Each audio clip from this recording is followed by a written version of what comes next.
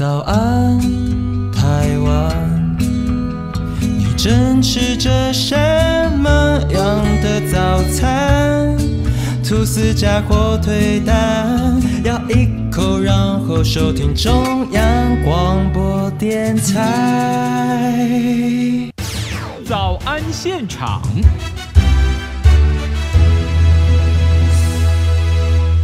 这里是中央广播电台台湾之音，您所收听的节目是《早安台湾》，我是夏志平。呃，此刻时间早晨七。点零六分了哟，嗯，来来来来，各位，四月三号早上的七点五十八分，那时候我们才刚刚下节目哈。台湾的花莲县的近海发生瑞士规模七点二的强震。那在这个礼拜二早上啊，我记得早安台湾的节目，我们特别为您访问到啊前中央气象局地震测报中心的主任郭凯文，那也跟大家聊一聊地震在测报的难度，还有就是没有收到地震预警的这些分析。那在这一次的不幸的灾难里面，其实我们也注意到中华电信啊，在天祥这个地方啊，呃，其实它是在花莲县的秀林乡啊，啊，第一次启动了所谓的低轨卫星，呃，低轨卫星的这个通讯网络来来帮助救灾。那这个时候呢，听众朋友可能就会很好奇啊。低轨卫星是虾米呢？是什么呢？哈，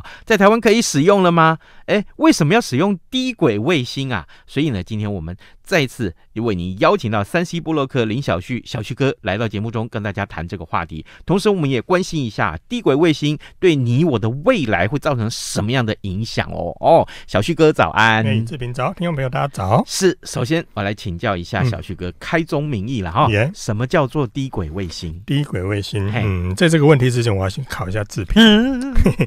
地球的卫星有几颗？这这是脑筋急转弯吗？嗯，不是，是正常的天文物理。我我都不敢回答，这不是只有一颗吗？嗯啊，对啊，就一颗啊。为什么要紧张？就我们每个中秋节都会遇到的那一颗。对对，那确实，我们地球的卫卫星呢就一颗啊。但你知道吗？嗯，人造的卫星有几颗？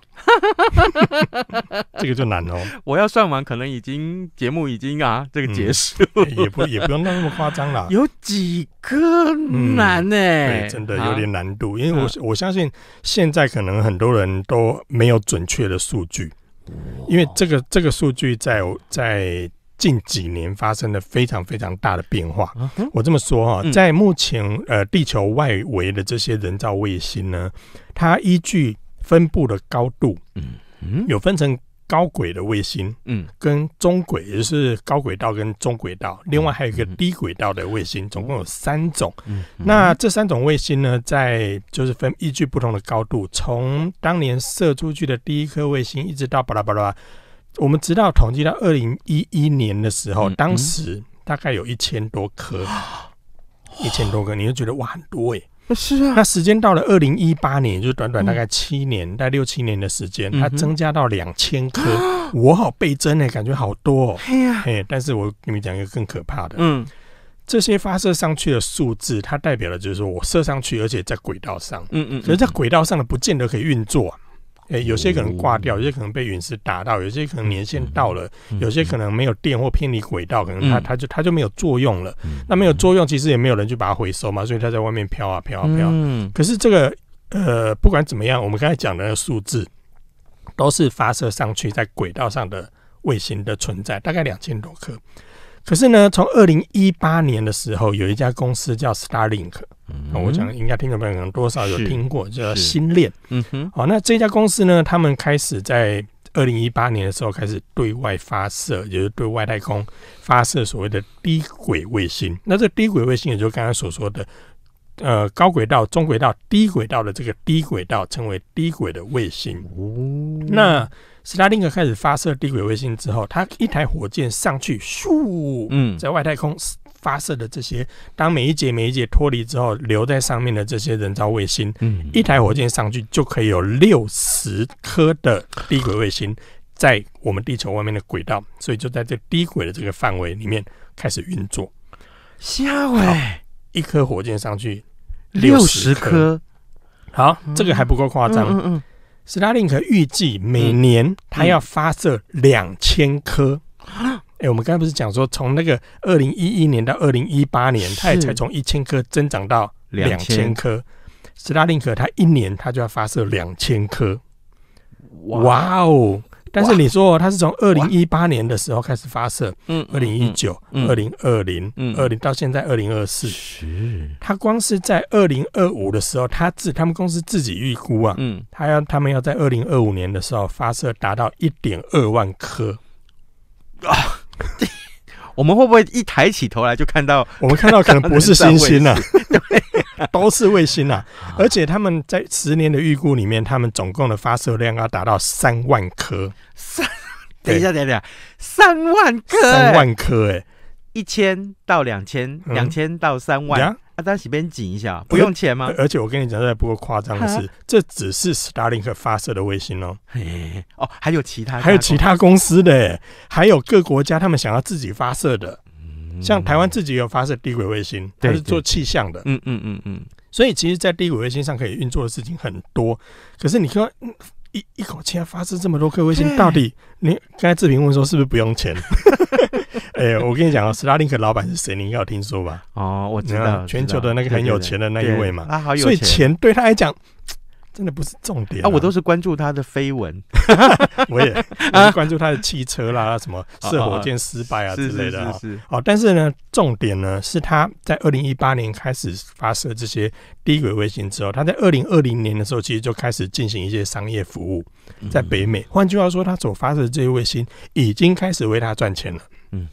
呀，那距离到近现在二零二四年的现在现阶段，在北美地区已经有一百多万个用户已经在使用它的低轨卫星了。哦，那发射这些呢，其实。如果啦，嗯，按照以往很多人的经验或者是想法，是说，喂，发射卫星很贵的，耶，而且你看人家发射卫星的时候，都还要在那边五四，然后很慎重，没有？围大家围在一个房间里面，然后开始看它是不是成功，甚至发射出去很多人相拥而而泣啊，然后觉得哇，好感动，终于上去了，结果他们是噗噜噗噜噗噜噗噜一直发射上去。这最主要的原因是因为低轨卫星它因为距离地球的轨道，我们应该说距离地球的表面比较近，在大气外。的这个距离大概五百五百公里左右以上到两万公里以下都可以称为低低轨的卫星。哦，那在这个距离里面的这些低轨卫星，它不管是它的设备、它的发射成本，因为它不用再飞那么高嘛，哈，呃，或者是它的制造的成本、维运的成本等等的，它都比较便宜。哦。但相对便宜来讲，当然你你说要把这些东西撕到上面去，其实你说这些卫星它的耐用度啊，它的零件的通讯等等的，其实它也要要到一定的规模。只是说目前的技术来讲，已经可以做到低轨卫星大概一颗卫星，呃，它不啷当不到十公斤，然后大概三十公分到六十公分左右，其实也不大。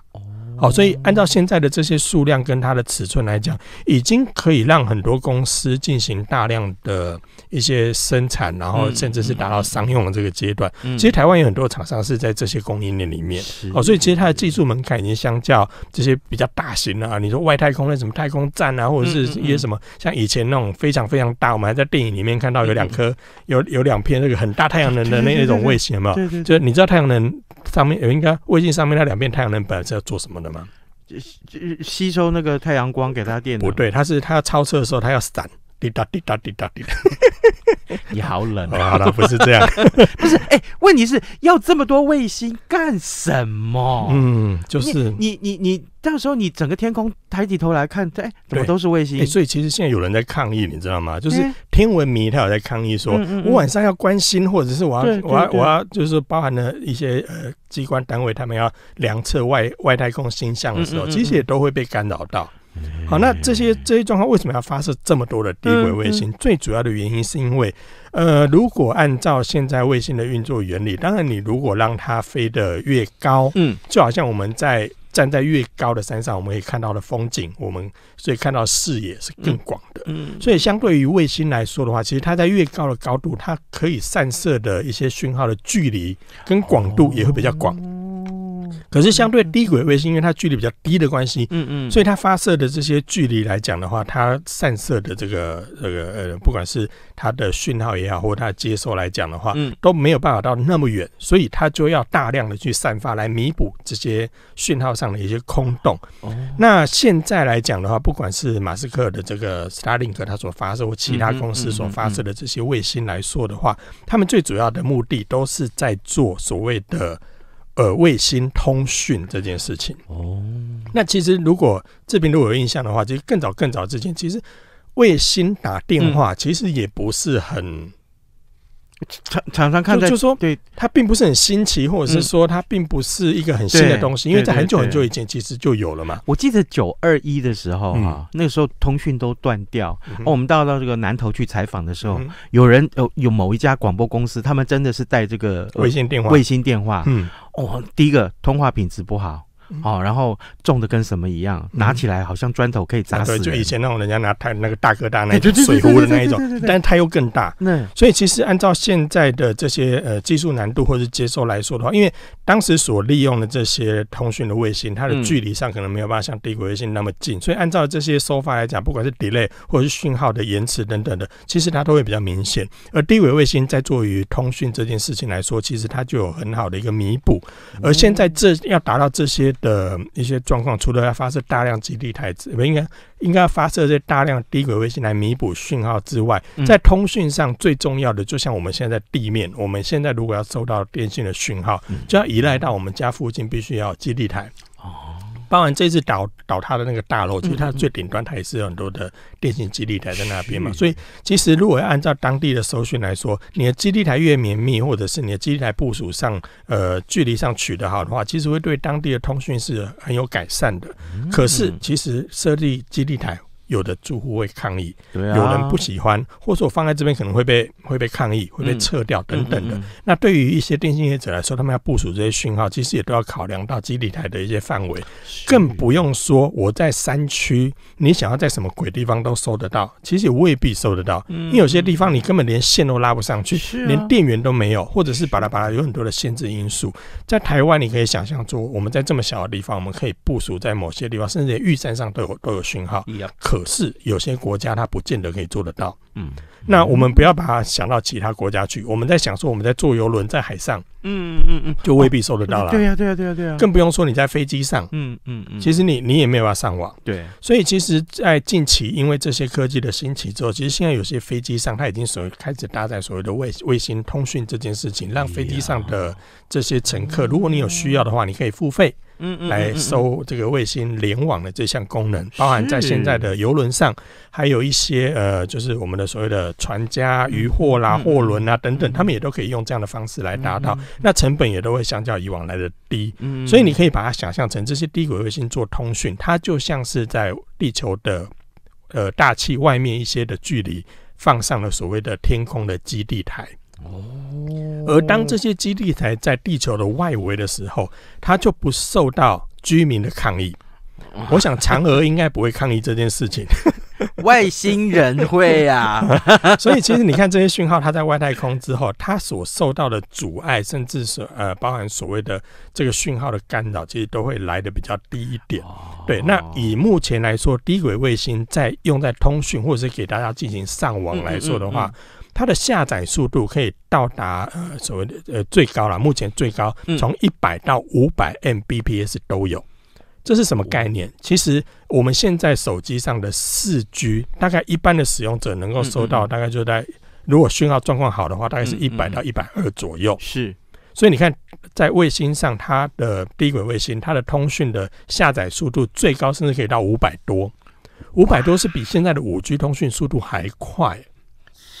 所以你看，在这么远的距离里面，又可以提供这么好的一个讯号来说，其实就可以弥补刚刚所说，不管在海上、沙漠里、天天上搭乘飞机的时候，或者是巴拉巴各种不同的应用，更何况是在有一些山区不容易建设基地台的状况，就可以透过这个低轨卫星来打来弥补所谓的这个呃通讯或者是联网讯号这件事情。所以你看刚刚的速度来说，这个已经可以让现在很多的家庭获得，就是他可能因为偏乡没有这些基础建设，那这可能就可能在比较大的国家里面就会发生。像美国其实它就有很严重的这样的一个问题哦。所以美国总统其实他也在二零二三年，就去年六月的时候，他提拨了四百二十亿的美元。希望在这部分来进行跟业者做相关的合作，来弥补所谓的一些呃基础建设，在一些偏乡的部分，让每个美国家庭都可以具备所谓的高速上网。要透过的媒介就是低轨卫星。了解，对，好，呃，各位听众，现在时间是早晨的七点二十分二十四秒啊，呃，今天我们为您来邀请到的这个受访者是三西布洛克林小旭，小旭哥在节目中跟跟大家分享什么是低轨卫星。我们先进一段台呼，台呼之后马上回到节目的现场来。早安，台湾，你正吃着什么吐司加火腿蛋，咬一口，然后收听中央广播电台。这里是中央广播电台台湾之音，您所收听的节目是《早安台湾》，我是夏志平。七点二十一分零七秒啊，我们今天邀请到山西布洛克林小旭在节目中为大家来介绍低轨卫星。为什么要谈低轨卫星？因为因为这一次花莲的这个地震里面，其实有用到低轨卫星来救灾。那好，在接下来我就要来请教小旭哥，那这一次花莲的救灾里面，我们用到低轨卫星的。通讯功能来救灾是这样吗？嗯，可以这么说，因为我们现在所就就就在呃花莲所使用这个低轨卫星投入救灾这件事情，是因为在这个山区里面，因为。当当时大家，我相信大家从新闻上应该都看到很多的画面，那个落石不断啊，然后呃摧毁了很多基基础建设啊。其实包含当地很多的基地台，也因为这些这些呃干扰或者是这些严重的这些土石坍方，造成的基地台及原本所在位置都已经受到严重伤害。所以你要在这样的一个一个环境里面，或者是在这样的一个山区里面，达到所谓的呃救援。彼此之间的沟通是非常重要的。也许有人说，那我可以用无线电啊，或巴拉巴拉。但是你无线电还是要经过一些现场的一些呃，不管设备的架设也好，还有中继等等，其实它也是一个一个问题所在哦。那更不用说在看到新闻画面，以及很多地方你连走都不容易了，更何况是把车子开进去。所以我在网络上有看到有人说，啊，没讯号，就请那个电信的那个那个什么行动车 开进去就好了。我说。你想的太简单了，你你看到那个画面，你连人走都是一个问题，路都不通了，怎么对？那这个时候呢，其实呃，在花莲的这个救灾里面呢，因为刚刚刚我们有所提到嘛，嗯，因为这一次的这个低轨卫星所引进的这些服务，最主要就是因为我们把天空的这些低轨卫星当做是一个基地台，让它当做一个之间的媒介之后，可以让我们所谓的呃救灾人员或或工作人员或彼此之间来进行一些一些通讯联系，甚至是把当地的状况。透过这个影片记录，或者是这些影像的传输等等，让这些的内容可以从里面快速的传到外面的这个指挥站，甚至是传到所谓的灾情中心，让他们了解这里面的状况是怎么样。嗯，好，不用不用再说人进去拍完之后还要再冒险再出来，这其实对于救灾上面都会有很明显的帮助。那其实低轨卫星之前呃之所以会在这段时间受到大家的瞩目，但如果大家有关注国际议题的话，嗯，俄乌战争在一开始的时候，其实马斯克就把他们天空的低轨卫星调到乌克兰的上空去协助他们，因为他们当时因为战争的关系，有很多的通讯设备是被破坏的嘛，对，所以当时其实也就因为战争这件事情，让大家注意到低轨卫星这件事哈，所以呢，其实，在天祥这个地区，也就是花莲这个所使用的低轨卫星，也是速发部在因为战争之后，嗯。所关注到说啊，原来低轨卫星除了以前所谓的监控或者是呃卫星电话联系之外，其实现在的上网速度表现也不错，信号传输跟遮蔽干扰跟低。基础地面的建设来说，也都比以前来的相对简单。所以呢，其实速发部呢，它就在这个呃，应该说在灾情之前，它就已经责成这个速发部底下所属的这所谓的法人电信技术中心，也就 TDC，他们购买的这些相关的设备来这个台湾进行相关的一些验证，来看可不可？因为我讲白一点，当初是站在战争的立场上来进行。嗯，测试的，因为大家也不希望说，万一发生什么事情的时候，台湾的什么电缆被破坏，台湾的基地台被破坏之后，我们的通讯就全部都没有了。嗯，那这些状况的话，基本上就需要一些备援嘛。所以低轨卫星会因为乌克兰那个时候的一些状况，所以把它导入，然后速发部来进行相关的验证。那这次的灾情当然是大家也不希望出动它了哈。那这个时候呢，其实行政院。呃，内政部他们那边也是呃，知道速发部有这些相关的一些设备，所以就把它调用到花莲的地灾、地震灾害这边来进行救灾。那空有卫星讯号相关的一些设备连接等等的，就请刚刚所说的电信技术中心跟中华电信，他们彼此相互合作，让讯号进行串接，然后在现场架设一些设备来提供这个我们刚刚所说的一些救灾使用啊。所以其实呃，为什么这次会有中华电信的角色？为什么很多人会说跟速发部有关？巴拉巴拉，其实就是因为这一层的关系。那前两天其实呃，速发部也发表了一些相关的成果，表示哎，其实在相关的应用上。确实，在救灾上也是有相当大的帮助。好，所以其实这些相关的一些呃资讯，我相信对于未来应用来说，不管是偏向的地区，不管是我们未来要出去玩在海上，还是在飞机上，或是真的发生像这次的状况救灾也好。嗯，战争上的联系也好，其实低轨卫星它都扮演着相当重要的角色。哦，哎，那也就是说，这一次的救灾既然是这样的一个案例是成功的，嗯，那也就是说，台湾的民众都可以使用低轨卫星的通讯了吗？都可以了吗？还没啊啊没啊，因为我刚才前面有前面有提到，对，对我前面有提到说，它现在引进的这些设备，它只有三台。来进行是相关的验证，所以验证完之后可不可以用？其实目前还有一些呃限制存在，包含了法令，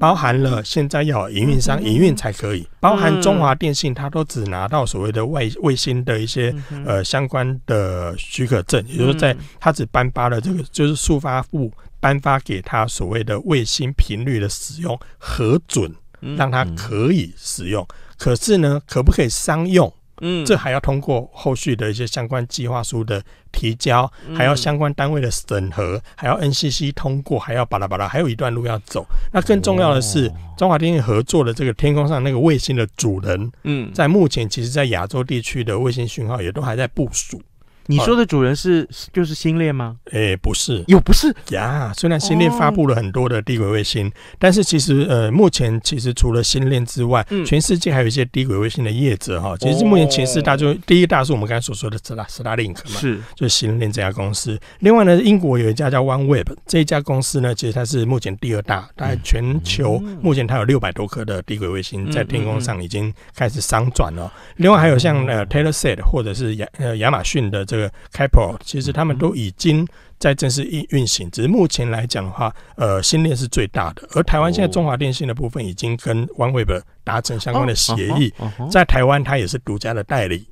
哦，所以目前我们呃，就是说前。上周我们所看到中华电信跟 TTC 他们所合作的这个所谓的低轨卫星，它使用的就是 OneWeb，就是第二大的这个低轨卫星的的厂商所提供的一些讯号。那刚才所说，大家可不可以用？因为目前还有刚刚前面所提到一些限制，所以其实目前来讲的，我们都还在等啊。但是目前呃，中华电信预估说 OneWeb 它他们在亚洲的讯号，大概在今年就可以完全部署成功，就让台湾都可以涵盖到所有的讯号。所以目前来讲的话，如果按照这时时程大概目前业者啦有预估说，大概可能会在二零二五年的时候，我们可能有机会用到。最后一个问题，嗯哼，那使用这个东西的时候，电信商会不会？增加成本，然后把这个成本转嫁给消费者，这个应该说要看怎么用了。但是如果站在使用者付费的立场，嗯，当然，嗯，也是有可能的。但是你知道，我们现在所看到这种种的的一些设备，它目前所拥有的是中华电信。对，中华电信它有所谓的社会责任，哦哦哦啊，它有它的包袱嘛。是。那目前来讲，我们也只看到中华电信目前已经谈完相关的跟卫星商谈完相关的合约，嗯哼，远传跟。台湾台湾大哥大目前其实还没有相关的讯息，好，所以其实你说未来成本会不会加注在上面？在目前全球的状况来说，除了手机有直接支援所谓的卫星电话之外，目前大部分低轨卫星都是先跟在地的一些电信业者合作之后，把它变成另外一个讯号来源，也就目前有所谓的光纤啊、电缆啊，把它多一个叫做所谓的低轨卫星，当做备援。万一那些断掉的时候，它可以拿来用。了解。好，各位听众，今天早上这频为您邀请到山西部落克林小旭，小旭哥来到节目中，跟大家分享低轨卫星。我们非常谢谢小旭哥的分享。其实小旭哥的准备非常非常的丰富，也谢谢各位听众的收听，跟您说拜拜喽。嗯。被丢弃